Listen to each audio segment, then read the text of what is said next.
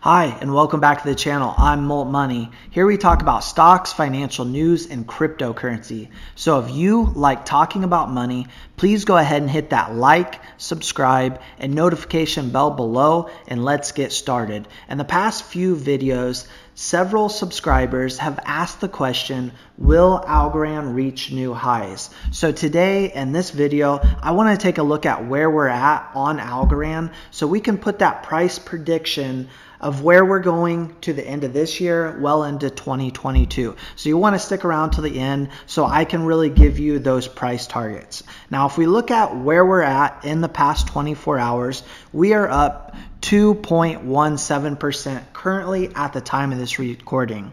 Now, I'm very happy with seeing this given the entire market is down right now for both cryptocurrency and stocks. As we know, there's a lot going on in the world you know, we had the Chinese ban uh, about a week or so ago, which turned out to be a real buying opportunity. But now we have a lot more FUD in the markets due to the debt ceiling and whether it will be raised and what Congress is going to do and how they're going to act regarding that. Now, What's nice to see is Algorand has still popped. At one point yesterday, I noticed we were nearly up 15%.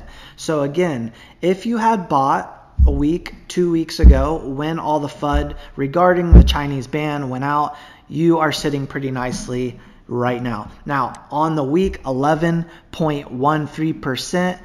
On the month, still 62.03%, which is really, really nice when it comes to Algorand.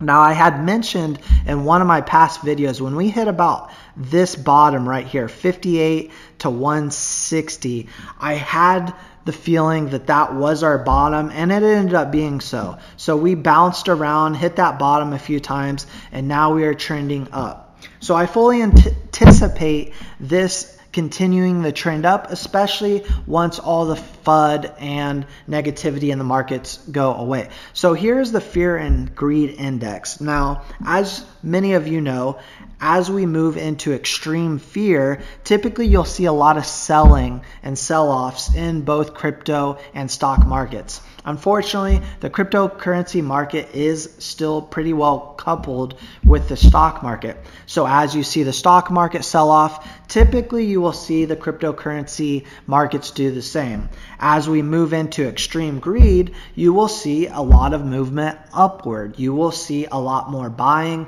in both stock and cryptocurrency markets. However, we're down today, and this is largely the reason because there's a lot of fear in the markets. Now, when talking about Algorand, tomorrow, I like to see this. TinyMan.org will be a guest speaker at Algorand's developer office tour. This session will cover TinyMan's decentralized AMM's trading protocol built on Algorand blockchain. So as we see, Algorand is having more and more projects built out on the Algorand blockchain. Now, if you're a beginner, you're unfamiliar with what an AMM is, there are decentralized exchanges that pull liquidity from users and price assets within the pool using algorithms. The exact mechanics vary from exchange to exchange, but generally AMMs offer deep liquidity, low transaction fees, and 100% uptime for many users as possible. So this is one thing that Algorand really excels at and what makes them such a great cryptocurrency and why many of my viewers and myself as well are very deeply invested into algorithm, or Algorand, excuse me. Um, now, I'm not a financial advisor and this isn't financial advice. So when we get to those price predictions later on, please keep in mind this is based off my personal opinion and my experience. Now, one thing we know that really helped shoot up Algorand and their price action was this right here. Back on August 31, 31st, El Salvador signed cooperation agreement with Koibanx to develop the government's blockchain infrastructure on Algorand. So what we are really starting to see is that uh, institutions, major corporations, and even countries are starting to build out their infrastructure on the Algorand blockchain, which is excellent. So if we take a look, use cases, for instance, hundreds of organizations compromised uh, fintech, startups, financial services, institutions, and DeFi are currently building on Algorand.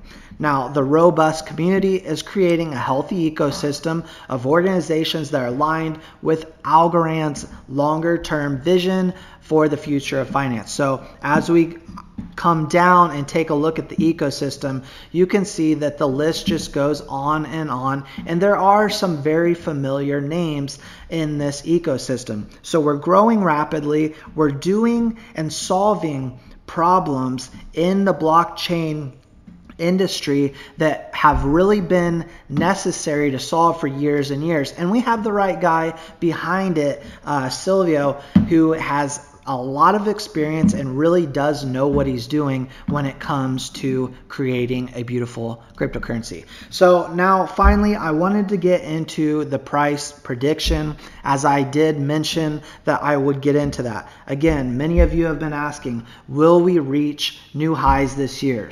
So in short, I totally totally do feel that we will and I don't think we're just going to hit new highs. I think we are going to absolutely blow past them. Now, as I mentioned, we're up on a day that is red for most stocks and cryptos, right? We are way up on the week and then way, way, way up on the month. So if we take a look at some of our highs there, we got up to about 255, right? And this was, you know, only a few weeks ago, September 12th. And that was our high at 255. I had said then, and I still stand by, even at 255, this is an excellent buying opportunity in my personal opinion.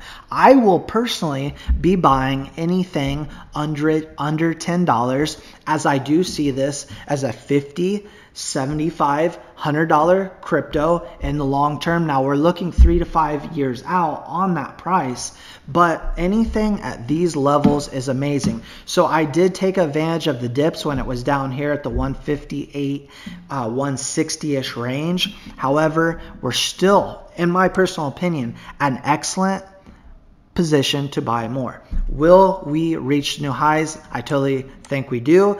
Uh, price prediction, I do anticipate once all this FUD goes away, the fear re- is removed from the market, and we go back into that greed, as I said before, where we'll get a lot of buying pressure. I do fully expect this to blow past that 255 range. I see us moving into the threes and well into the three to five dollar range by end of year 2021 going into 2022. Now, 2022 we know is going to very, very likely be an excellent year for blockchain and the cryptocurrency market in general. So I could fully see and anticipate even seeing that 8 to $10 range moving into the end of 2022. So we'll we'll cover all that on this channel. So you make make sure you want to stay tuned to what we've got for these price predictions. That's all I've got for you today. Enjoy the rest of yours, and I will see you in the next video.